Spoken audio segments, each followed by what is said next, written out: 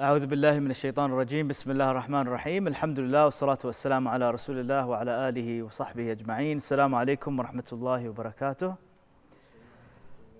So we're at uh, Surah Al-Nasr, Surah number 110. Uh, again, this is a continuation of the previous surah. So in the previous surah, we learned about the declaration of war. And right, the surah after that, we're learning what the fate of the believers will be. That the believers will get victory. And subhanAllah, the surah right after that is the fate of the disbelievers with Surah Al-Masad and Abu Lahab. So it's a beautiful way the, the surahs are sequenced in the Mus'haf. And um, you know, in this, of course, Surah An-Nasr basically means victory, right? So this is the surah of victory. And uh, so there's a lot of difference of opinion when the surah was revealed, but for the most part, it was in, in the latter part of Medina. Okay, there's differences of opinion whether this was the last surah revealed or not, but what you need to understand is the later later part of Medina, and uh, in this surah there is a hint to the idea that there will be uh, the conquest of Mecca. So this is the this giving a sign of the conquest of Mecca, and uh, of course good news for the for the believers, bad news for the disbelievers. Um, and there's really amazing lessons in it, Sarah. It's a very short surah, but very, very beautiful lessons in it. So I'll try to highlight some of them, inshallah, in this limited time. Um, we also uh, some just context about the surah. So there's different narrations. One of them is that you know at one point Umar did a quiz basically for the Sahaba. He he recited the surah onto them and, and asked them, "What do you learn from the surah?" So uh, everyone was basically saying that yeah, it means that we need to do tasbih and hamd and istighfar after we gain victory. But Ibn Abbas, who was a very young boy back then, he actually said, no, this is actually a hint towards that the fact that the Prophet ﷺ is going to be dying soon. And so Umar said, yani, I agree with what you said, yani, you know. So in, in this surah is in a way Allah is telling us that the mission of the Prophet ﷺ has come to an end and therefore it's nearly the end of his life because khalas, the mission is done, you know. Uh, another uh, uh, riwayah is that Abu Bakr Siddiq when he heard this uh, surah, he started crying like profusely. Yani. Why? Because he also got the hint that khalas, this means Nasr is going to come, that means Rasulullah is going to leave us very soon. Another narration, uh, Fatma anha, when, when she heard about the surah and the Prophet told her about the surah, she started crying because of the departure of the Prophet and you know, her, her being separated from him. And the Sahaba saw her crying, and then moments later they saw her laughing. And so they went up to her and asked her, One moment you're crying, the other moment you're laughing, what's going on? And so she said that the Prophet, when I started crying, he came to me and he said, You will be the first one to join me in Jannah. And so she started laughing because this was like good news for her. So at one point she was sad, but then the Prophet ﷺ gave her some good news. And it's also mentioned that you know the wives of the Prophet ﷺ would notice that after the surah was revealed, he would do a lot more istighfar and not more, he would you know do tasbih and tahmid. And you know the, the hadith about istighfar, the Prophet ﷺ 100 times per day. It was it came after the surah was revealed. So you know the Prophet ﷺ was increased his istighfar because literally Allah commands him فَسَبِّحْ بِحَمْدِ رَبِّكَ وَاسْتَغْفِرْ right and do tasbih and hamd of your master and do istighfar right so uh, the Prophet in answer to the command of Allah subhanahu wa ta'ala did this much more towards the end latter part of his uh, years and uh, and that is a beautiful lesson also that this is what the Prophet used to love doing most of the time right but um, you know, what was his job in the, what was the challenge for him in the beginning of his message? The challenge was, we know you love to do tasbih and tahmid, but you got to go and warn them. قم فأنذر, right? And at night, قم الليل, get up at night and pray and do tasbih, but in the morning what? ذكر. قم فأنذر, stand up and warn. Your mission is not complete yet. You got to still keep keep at your mission, keep doing your mission, mission, mission, mission. But then when the mission is complete, what? Allah's telling you, okay, I know you love doing tasbih and tahmid and istighfar, you, you love to remember me. Now that your mission is complete, now Do what you really enjoy doing. Now you can do tasbih and tahmid and istighfar. So that's part of the, uh, the flowing of this surah also. Um, also, we learned that the, first, the first part of the surah, إِذَا جَاءَ نَصْرُ اللَّهِ وَالْفَتْحِ When the, you know, the victory of Allah comes and the fath and the conquest comes, and you see people coming into Islam in, in multitudes, وَرَأَيْتَ النَّاسَ يَدْخُلُونَ فِي دِينِ اللَّهِ أَفْوَاجًا This is what's happening on the outside. What's happening inside the house? فَسَبِّحْ بِحَمْدِ رَبِّكَ وَاسْتَغْفِرْ You in your privacy, you need to remember your Rabb and do istighfar. إنه كان توابا. so we're getting a, like a scene. The first two ayat are a scene of the external, what's happening outside, and then the private life of the Prophet ﷺ. And so um, we also learn from Sirah that, you know, the Prophet ﷺ, when, when it was Fath Mecca, conquest of Mecca, how did he enter into Mecca? He entered while in the state of sujood. He was literally prostrating, lowering his head on the camel that he was riding as he entered uh, Mecca, which is a sign of what? Of sign of humility. And this is very much unlike what people do when they gain victory nowadays in dunya, right? I mean, you know, you watch the Champions League final, you know, Barcelona wins the Champions League. What happens? There's celebration and fireworks and champagne and dancing and singing, right? And then, you know, when they go back to their countries, there's big welcoming and greeting and parades. And so this is how people celebrate nowadays when it comes to victories. But we're learning from this surah how Allah subhanahu wa ta'ala wants a believer to, you know, celebrate after victory, subhanAllah. It's with hamd and tasbih, subhanAllah, alhamdulillah, and astaghfirullah and doing tawbah. And we'll, we'll talk about this inshallah when we get there, but very different way of celebration. Yani. You know, no parades, no singing, no dancing, none of that. Yani. So it's very interesting, and the Prophet understood this completely, and that's why he did sajda. So it's, it's completely in line with seerah. Um,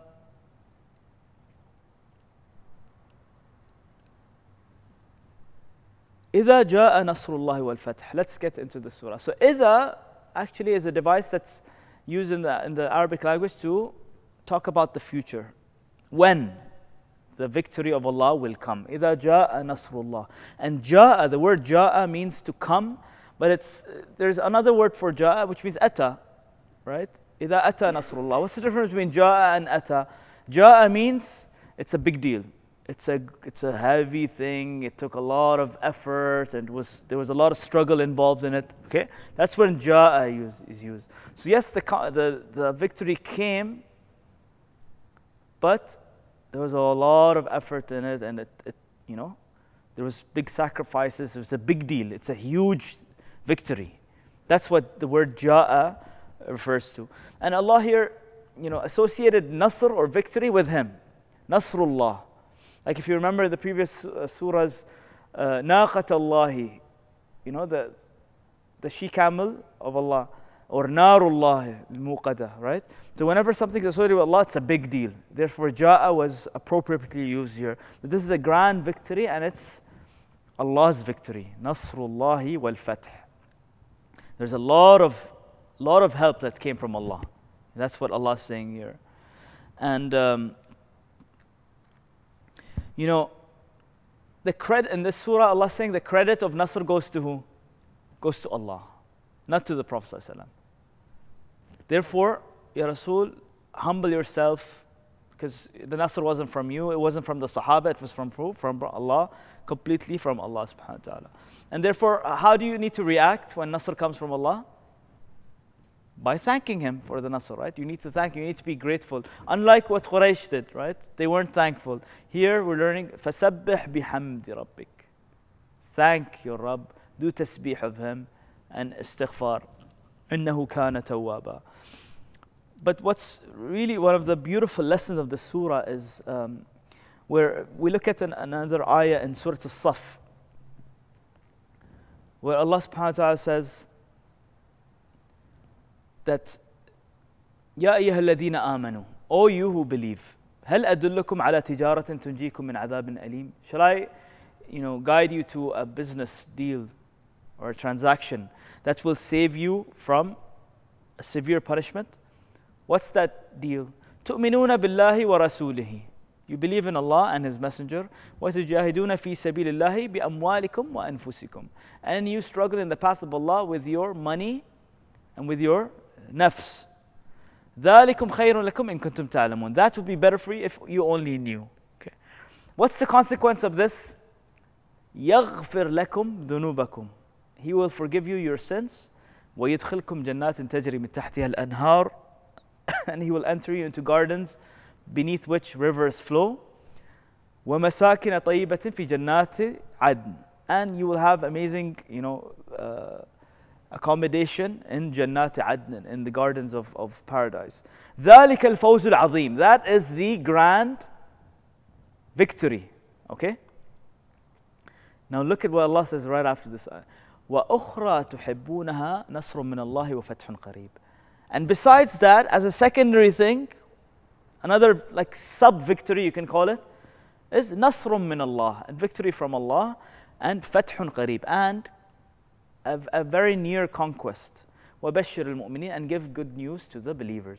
Now this is uh, ayah number 10 till 13 of Surah As-Saf. Okay. Here Nasrullah is mentioned, right? Nasrum min Allah, victory from Allah is mentioned, but it came as a secondary victory, right? What was the initial victory? Forgiveness, يغفر لكم ذنوبكم and, and Jannah. So what we're learning here is Allah subhanahu wa ta'ala is, is teaching us priorities. Because sometimes, you know, and we're living in those ages now when people get so obsessed with victory, victory, victory, and khilafah, and, you know, sharia law, and we need to, you know, uh, rule with sharia and with the book of Allah, and, you know, whoever doesn't is this and that. And there's this big movement happening all across the world where people want victory, victory, victory. Allah's saying you're, you're running after the wrong thing. What are we supposed to run after? Forgiveness. Run after forgiveness. Nasr is secondary, and Nasr is something I'll take care of. You know? Nasr, Nasrullah. Allah will take care of the Nasr. You need to take care of what? You need to worry about your istighfar, subhanAllah. So here, uh, that's one of the beautiful lessons here. So what was the mission of the Prophet ﷺ? To cleanse the Kaaba, right? That was the ultimate objective. Second, secondary to that was the victory itself. The primary objective was the purification of the Kaaba, and you know that's why istighfar is mentioned in the surah to remind us of the the objective. Don't yes, Nasrullah came, but what's what are you supposed to get busy doing? Sabbih bihamdi rabbika wastaghfir. Focus on yourself, on purifying yourself, and you know doing istighfar and, and cleansing yourself. So what's the difference between Nasr and Fath? Just to clarify the two. So, uh, Fath is a clear cut victory, you know, where there's no, because uh, Nasr can be some help, you know, or maybe it was a, a, very close match. You know how sometimes you have a cricket match, last run, you know, you realize who's going to win, who's not going to win. That's Nasr, where there was, you know, a competition. But Fath means what? خلاص يعني there's no everyone knows who won. The winner knows he won, the loser knows he won. Sometimes in boxing matches this happens, right? There's no knockout and until the end bell when the judges make the announcement, you don't know who won. That's Nasr when it's a close call. But Fath has, you know, the guy knocked him out, khalas. You know who won. Clear defeat, absolute winner and, and loser. Now, uh, of course, this surah, Surah Al-Nasr, is linked with Surah Al-Fath, where Allah subhanahu wa ta'ala starts off by saying, Inna fatahna laka mubina. And this is referring to the Treaty of Hudaybiyah. Just to refresh you on what the Treaty of Hudaybiyah was. Sulh al-Hudaybiyah. Uh, basically, the believers, they were going to do Umrah. And everyone was excited and, you know, no weapons. They only had their daggers for the sacrifice. So, yani, for the Quraysh, this was uh, something they didn't accept. And what happened was they stopped them and they made a deal with them, which was very unfair in the eyes of who? Of the believers, right? Even people like Umar got really upset that, Ya Rasulullah, why are you compromising with them? We are in a higher position, but the deal was in their favor. They didn't let us do Hajj this year. They didn't let us, um, you know, all the rules were in their favor. If someone from Mecca flees to come to Medina, what are the believers supposed to do? Return him back. I mean, this is clearly unfair. Yani. So Umar was like, Ya Rasulullah, we are in a higher position of authority. Why are we compromising in this? Yani? So Allah called this treaty Fath, you know, which is very interesting. And uh, we need to understand, yani, to the point, Sahaba were so upset to the point where uh, when Rasulullah told them remove the ihram, they weren't removing they were I mean, literally disobeying, disobeying the Prophet. And so Rasulullah was confused. He went into the house, and you know, one of the mothers of the believers gave him advice that, Ya Rasulullah, you, you shave your head and remove ihram, and inshallah they will follow. And that's what he did. Yeah. But uh, so it was a very interesting time of seerah. But what basically happened then was, why did Allah call this treaty Fath? Well, Sahaba saw this as a defeat. To understand this, we need to understand how Islam started. Islam started as what? As a strange thing, right? It started as a minority group who were, you know, being kind of like, you know, according to the eyes of the kuffar, brainwashed by Rasulullah. And they used to prevent their people, don't listen to this man, he's gonna separate between you and your family, right? He's gonna brainwash you, he's gonna do magic to you, you're gonna end up leaving your family. And so, you know, you know how like cults are seen? you know, cults are like governments never talk with cults or minority groups or terrorist groups, right? Governments will not never acknowledge them. And whenever you have a state and you have a minority group that's causing trouble, they would never have a press conference with them or, or discuss with them on a table. Why? Because they're not even acknowledged. This group is not acknowledged. There's a, they're a terrorist group or a group that's unrecognized. They don't have any sort of authority. Okay, and so this is what happened throughout the Meccan period. You know, they were just being discredited, you know, Majnoon, Sahir, being, you know, all this character assassination was happening in the Prophet. They didn't want to have any discussions, any negotiations with Rasulullah in that position. And there was physical attacks and threats, and you know, if they could, they could, they would kill and torture, right? So clearly, they're not recognizing this group, this minority group because it's still at its infancy stage. That's what happened in the Meccan period. But then, what happened when they came back after you know all these years? After like you know more than uh, you know 10, about 20 years of da'wah, the believers now are coming back in bigger numbers, and this time they have no weapons with them. There's confidence and they're coming to do Hajj, yani, you know, in their ihram. And so all of a sudden, Quraysh, the way Quraysh reacted to this uh, group coming back, the same group that were a minority, they weren't willing to sit at the table. Now, what are they doing? They're willing to sign a treaty with them. So by, by them signing a treaty with this group, Allah called it Fath. This was the victory because finally Quraysh have recognized that this group is now a legit group and we acknowledge them. And although the terms are in our favor, but the bigger picture was this was the beginning of the defeat because they acknowledge this as a state now. They acknowledge the Muslims as a group that they can actually negotiate with. So, hidden in that, this was, yani, this was huge news for everybody that, wow, yani, Quraysh signed a deal with the Muslims. They recognize them as an authority now as you know a, a group that's a legit group. So this, you know, in itself was, according to Allah subhanahu wa ta'ala, fathan mubina, a clear-cut victory, Allah calls it. Not just victory, clear-cut victory. So, uh, um, and notice that there was no bloodshed in this, in this treaty, huh? So Quraysh knew that even, yani, the time for wars and that is over. La, we need to have a peace treaty with them, basically you know, which is what some countries do nowadays, right? Peace treaties with different groups and stuff. So this, this was basically what led to the Nasr of Allah. So Allah called it Nasrullah.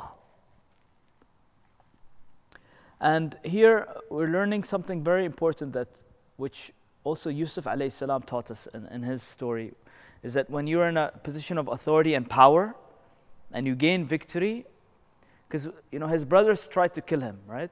But what did we learn from his story? That he forgave them. And this is primarily what happened with Rasulullah also. That for him, he didn't take advantage of that victory and this, yani, you know, kill all the disbelievers. What did he do?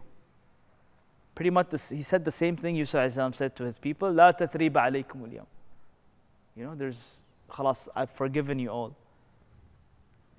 Of course, there was a small ex exception to, to this, where certain disbelievers were dealt with justly. But for the most part, most of Quraysh were, were left uh, forgiven, and a lot of them accepted Islam. And you know, إذا جاء نصر الله والفتح also here it refers to the fact that this, these victories will keep coming. This was just the opening door of victory. And that we learn from, from history that after the conquest of Mecca, there was victories upon victories upon victories upon victories that came as a result of even, you know, and during the time of Umar's Khilafah, the victories were expanded exponentially. Okay, so this was like the beginning, opening door of victory. إِذَا جَاءَ نَصْرُ اللَّهِ وَالْفَتْحِ Now Allah here uh, saying, وَرَأَيْتَ النَّاسَ يَدْخُلُونَ فِي دِينِ اللَّهِ أَفْوَاجًا And you saw with your own eyes the people entering into Islam in big, big, big numbers. So here, وَرَأَيْتَ is telling the Prophet you will see with your own eyes. And you see, you will see with your own eyes people. And this is really good news for the Prophet ﷺ that you know how sometimes you, you have a vision and you struggle for it, but you don't see the fruits of it? Allah is giving good news to the Prophet. You will see the fruits of this victory with your own eyes when the people enter into this deen. And afwaja, what does afwaja mean? Group after group after group. And literally, this is what happens. Tribe after tribe after tribe were entering into Islam in big, huge, huge numbers. And um, وَرَأَيْتَ النَّاسَ So Allah is separating here victory from when people enter. This is a very important point for, for us to understand, is that who was with the Prophet ﷺ when it came to victory? It was the Sahaba, right? Sahaba were with him, the people who struggled, the Muhajirin and the Ansar. These were the people who were, you know, contributed towards the Fath. They were the hard-working people who supported the Prophet ﷺ in the early years. They were part of that mission. But then, as a result of that, the fruits were what? People, Allah calls them annas. People, the, the normal people, they started entering into this deen in multitudes. So there's two groups here. There's people who worked for the vision, they were part of that mission, and there's people who entered into Islam after that mission was achieved. In a way, here we're learning that Allah is honoring the people who worked for this mission, and He's calling the people who came later Nas. They were just people. Okay? And, and we learn from Abu Bakr Siddiq Sira that a lot of these people, these Nas, who came in multitudes, what happened to them after they entered Islam? They left also very quickly. Why? Because they, they weren't, they didn't have that solid foundation. They entered eh, in last, left out first. A lot of them, you know, they ended up not paying zakat and they came up with this whole concept of let's not pay zakat. Some of them ended up, you know, claiming their prophets also, you know? Literally, this is what happened. Yani. So this is these people who came in later on, this is the, you know, not, not the, the solid foundation of believers who really started. So here, also, yani, for us living in times where you know, Islam is, is still growing, it's not you know, dominant in the world today. we also need to think about where we stand, right? Do we want to be, we do, because see, the victory of Allah is going to come, the khilafah of, of Allah is going to come, the khilafah al minhaj and nabuwa according to the promise of the Prophet is going to come. Whether it's going to come in 10 years, 50 years, 100 years, 500 years, we don't know, right? It's going to come, it's going to come. But in a way, we need to, as believers, decide do we want to be from the people who struggle for the mission, like the Sahaba did, like the Muhajirin and Ansar did? Or do you want to be from the, the Nas who just, you know, ride the train when it's, yani, when things are nice and easy? You know, and what we're learning here is the majority will follow later on. And Nas means plural. But what about the Sahaba? They were few, right? The selected few, the people who struggled, they were few. The majority follow later on. Like the 80 20 rule. You've heard about the 80 20 rule? So 20% of the people will, will do 80% of the work. And then 80% will just follow along. They won't have much significance here. So this for us should this surah is actually a motivation. It should be a motivation for a believer that I want to be from the people who contribute to the, towards the Nasr. I don't want to be from uh, Nas Those were the, you know, that's the easy way in. I want to be part of the the struggle. Why? Because the reward there is more. Those are the people who contribute towards this. You know, rather than just being getting the easy ride. Okay, so that's that's one uh, one of the lessons of the surah. And وَرَأَيْتَ النَّاسَ يَدْخُلُونَ فِي دِينِ اللَّهِ أَفْوَاجًا Allah said they entered into, into the deen of Allah in numbers. He didn't say, and they believed. Why? Allah is telling us that they entered into Islam which is the legal part of it, right? It's just the basic level of Islam. That's why, uh, you know, they didn't really have the belief, the strong belief and the strong, you know, conviction that the Sahaba and the, you know, Muhajirin Ansar had. These were just people who followed later on. They entered into Islam. So, difference between Islam and Iman. Very important thing to distinguish, you know. And, you know, uh, in the Quran, Allah mentioned the ayah, قالت الأعراب آمنا, that the Arabs, the Bedouins, they claim that we believe. Allah subhanahu wa ta'ala tells the Prophet قُلْ لَمْ تُؤْمِنُوا وَلَكِنْ قُولُوا أَسْلَمْنَا Tell them that you didn't believe, but you only accepted Islam. وَلَمَّا يَدْخُلِ الْإِيمَانُ فِي قُلُوبِكُمْ and, and Iman has not even entered your heart. SubhanAllah. So there, there, Allah is saying that there's a difference between Iman and Islam, and there are certain people who are labeled Muslims, but Iman hasn't even entered their hearts. You can't claim that you're a, a mu'min just like that. It has to be in your heart. But legally, that's what Islam is here. So, another thing we have to understand is يعني, part of this وَرَأَيْتَ النَّاسَ يَدْخُلُونَ فِي دِينِ اللَّهِ Entering into Islam as a consequence of just inheritance and being labeled as Muslims it's a very dangerous thing if you take Islam for granted, right? And that's why we see so many people leaving Islam today. And there's this big movement of people just having doubts about Islam and becoming atheists and rejecting part of deen. Why? Because the foundation is not there. So we have to yani, never ever take Islam for granted. Never ever take Islam for granted.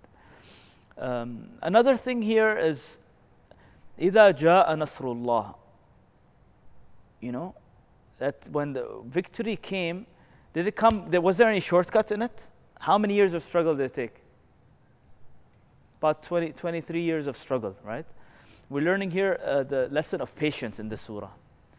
That, you know, struggle will come, but you gotta keep doing the small things consistently over and over and over and over and over again. And then the Nasr of Allah will come. Nasr of Allah doesn't come with shortcut people uh, unfortunately try to find shortcuts for it. It doesn't work that way. You know, Nasr of Allah will come, but it comes after struggle. But then the, the, the second part of this uh, surah, uh, which is فَسَبِّحْ بِحَمْدِ Now that the Nasr has come, what should you do, Ya Rasulullah? Allah tells him, he, Allah subhanahu wa ta'ala commands the Prophet فَسَبِّحْ بِحَمْدِ رَبِّ fa السَّبَبِيَّة As a result of that Nasr, what are you supposed to do? فَسَبِّحْ بحمد ربك واستغفره إنه كان توابا So let's, let's split this into three things. There's tasbih, tahmid, and istighfar. Okay? So what is tasbih? Tasbih means to declare the perfection of Allah subhanahu wa ta'ala by, you know, saying subhanallah. And, and in declaring the perfection of Allah subhanahu wa ta'ala, you are basically not associating any, uh, you know, impurity to Allah subhanahu wa ta'ala. He is above all impurities, and therefore His name is always going higher and higher and higher and higher. That is what tasbih is. Um, and then bihamdi rabbika and, and thank Allah basically. Why thank Allah? Because He gave you victory. Be grateful, unlike who? Unlike the Quraysh. And Allah here said, bihamdi rabbika. Allah subhanahu wa ta'ala is reminding the Prophet ﷺ that don't forget that these are the favors of your master. Don't forget this, these are the favors of your master. Remember, one of the meanings of Rabb is the one who keep, keeps giving you gifts. So Nasr, in a way, here's the victory. And Surah Al-Kawthar also, Allah subhanahu wa ta'ala hinted, Inna a'tainaka al-kawthar. Victory was one of the meanings of a kawthar, if you remember. فَسَبِّحْ بِحَمْدِ رَبِّكَ وَاسْتَغْفِرْهُ So the, the, in terms of this part of the surah now, Allah is saying, first give Allah what He deserves, and then you ask what you want. What is Allah telling the Prophet to ask? For forgiveness. وَاسْتَغْفِرْهُ إِنَّهُ كَانَ تَوَّابًا So, first you declare Allah's perfection, give Allah what He deserves, and then ask what you want. We learned this in Surah Al-Fatiha also, if you remember. First we said, Alhamdulillah Rabbil Alameen, Ar-Rahman Rahim, Malik Yawmiddin. These are all praising Allah subhanahu wa ta'ala, giving Him what He deserves. And then we ask Allah what? What we want, right? اهدنا الصراط المستقيم إياك نعبد وإياك نستعين Help us, Ya Allah. That help and the seeking of guidance, that's what we need. When do we deserve what we ask for? When we give Allah what He deserves. Okay? So فسبح بحمد ربك, this is what Allah deserves. واستغفر. And then ask Him for what you want. Then you, um, you know, seek what you want to get. إنه كان توابا. He is most definitely a tawab. So, part of this istighfar, okay, why, why, why is Allah mentioning istighfar here? We understand tasbih and, and glorifying Allah subhanahu wa ta'ala and, and declaring His perfection and tahmid of, because of the victory. But why istighfar? What's the link between this and, and victory? Istighfar, part of it is humility. Part of it is humility. Ya Allah, again victory, but I'm still humble towards you. I'm still, you know, it's to put you back and give you that uh, humble check.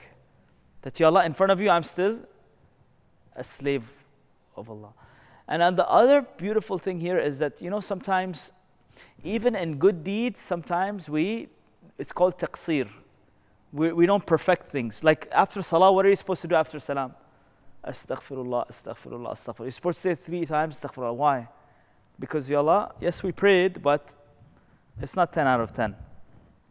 You know, it's not a perfect salah, Ya Allah. And therefore, with this istighfar, we complete.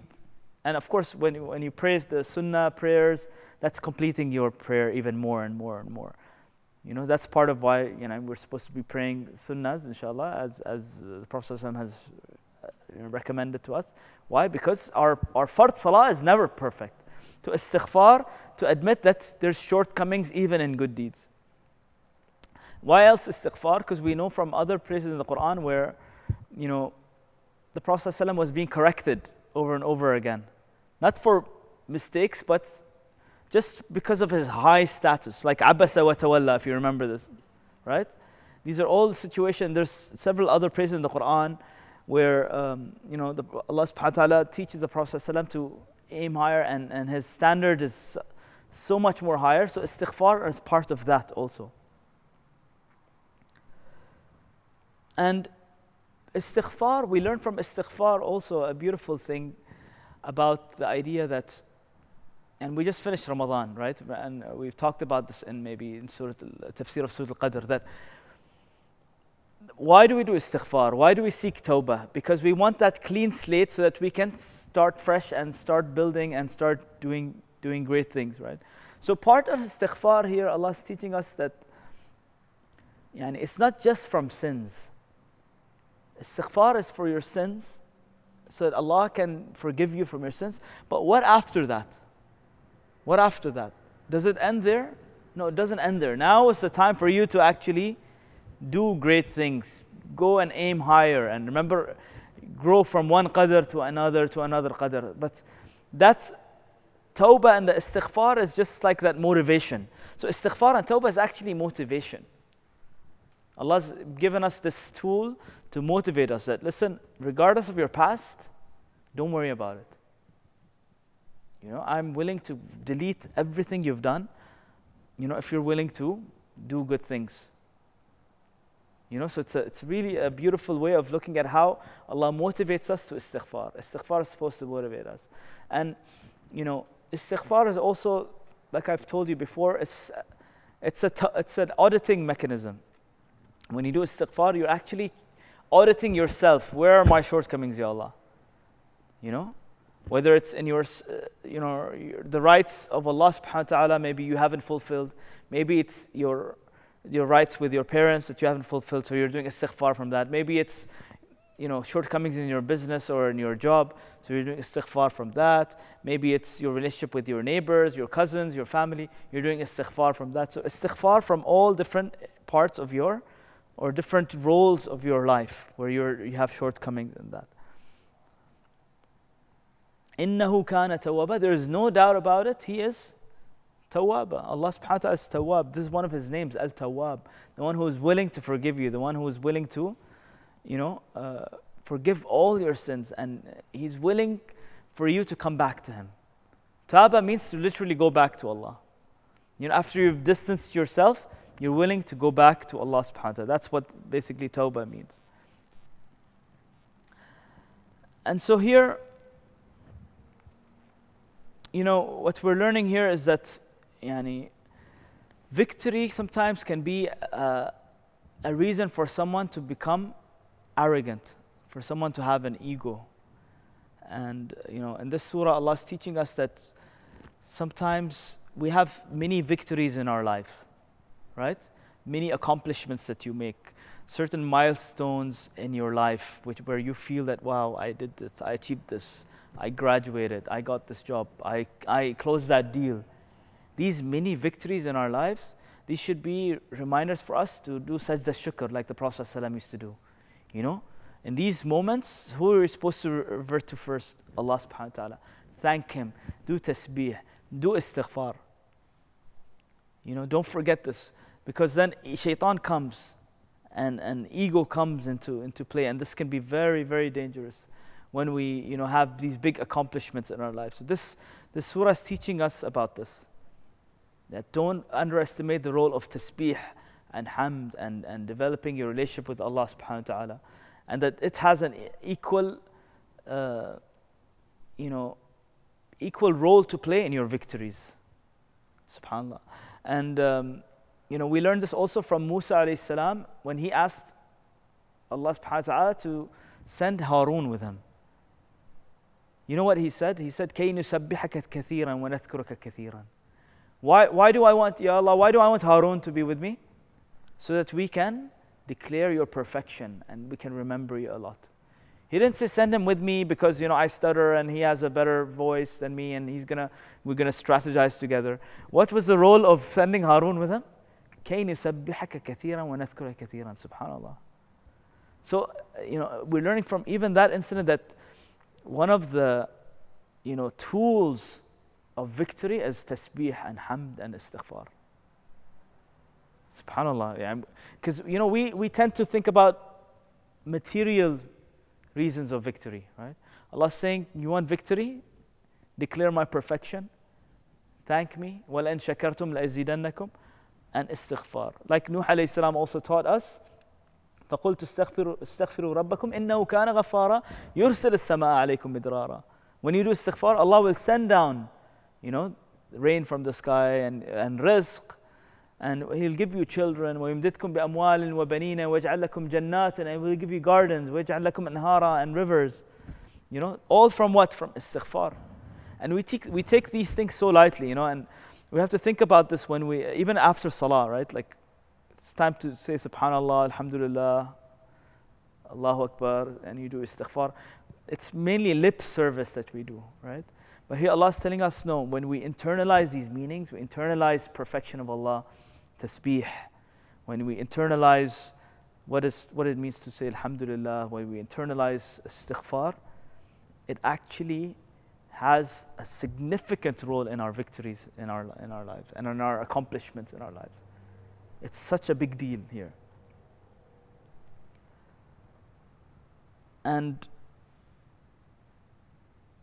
you know, we also learned here that um, someone like Musa alayhi right? I mean, he spoke to who on the Mount of Tur? To Allah subhanahu wa ta'ala. And yani, we would expect him you know, when you talk to Allah subhanahu wa ta'ala, would you want to end that conversation? you don't want to end that conversation. And that's why we learn, you know, when, when Allah subhanahu wa ta'ala tells Musa, salam, so, ما تلك biyaminaka يا موسى what's that on your right hand? You know, what was the, the appropriate answer to that question? My stick. Literally, the, the answer would be one word. But we learn from, you know, that part of the Quran where that dialogue's happening Musa salam goes on and talks on and on about his stick. This is my stick, and I use it for, you know, for my sheep, and I sometimes like lean onto it. And Allah didn't ask him, "What do you do with the stick?" he just asked him, "What is that in your right hand?" You know.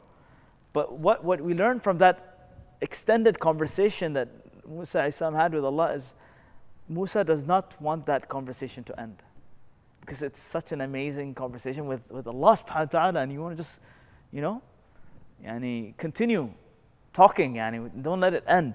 And so here, what did Musa, uh, what did Allah tell Musa salam? Idhab ila Fir'aun. I know you're enjoying this conversation, but now it's time for you to go and do your work. Go. We have to end this conversation. Yes, you had yani, a conversation with Allah subhanahu wa ta'ala, which is like one extreme of amazing conversation, the best conversation you can ever have. And now you're going to have the worst conversation with, with one of the worst people, complete contrast. Yani. So when you get used to talking to Allah, you want to stay, stay in, in, you know, in connection with Allah subhanahu But Allah saying, no, but the, mission is now you get to talk. You got to talk to me, now you get to talk to the worst of my creation. This is your mission. And he has to do it. He can't say, no, Allah, can we talk for five more minutes? No, he has to go. So the Prophet ﷺ similarly, you know, like he used to love the Qiyamul Layl. He used to love قم الليل إلا قليلا and فسبح فسبح فسبح. But فذكر was always there. Get up, قم فأنذر.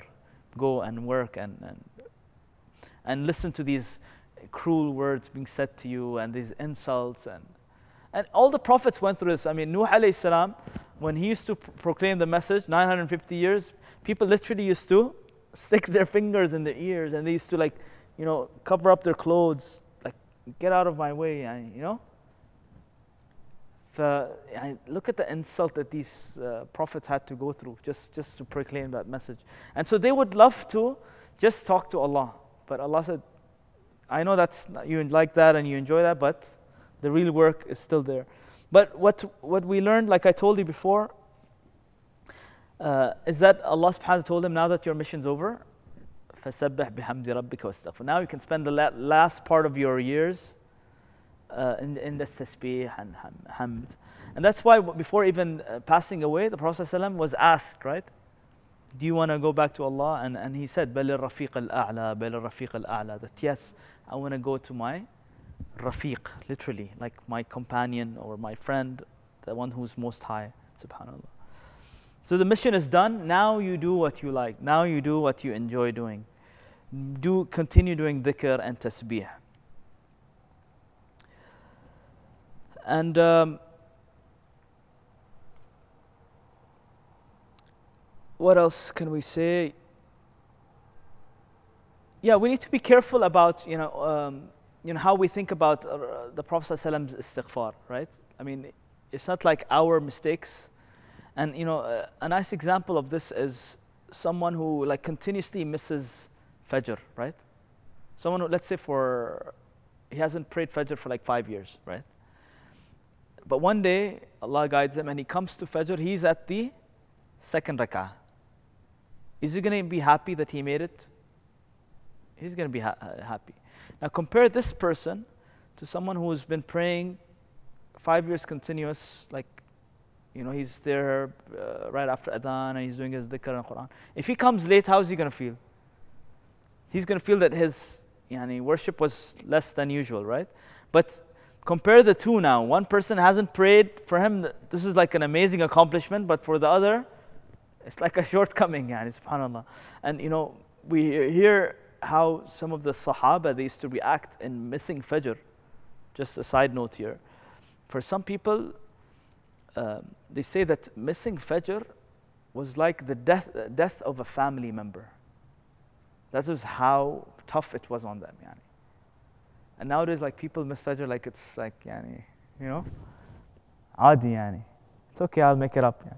For them, it was such a big thing that they would feel like a family member was lost. Just try to remember the last time someone in your family, a close family relative died. How devastating it is and how messed up your mood is. That's how we should feel when Fajr is missed, subhanAllah. So, um, again, this surah, uh, yeah, to, to, to wrap it up, is teaching us about an attitude of a believer, right? That he is humble, he has a strong connection with Allah subhanahu wa ta'ala, but at the same time, he has the hope of victory. But the, the, that goal does not distract us from the real purpose, which is to purify ourselves. Right? فَسَبِّحْ بِحَمْدِ رَبِّكَ وَاسْتَغْفِرْ You purify yourself and the victory will come. Don't focus so much on the victory and forget your salah, forget your purification. Constantly think about yourself. And you know, wallahi, I think that yani, we're living in times where this is like a golden opportunity uh, for believers, especially the youth, you know, that Islam is, is on a rise now, right? There's no, there's no doubt about it.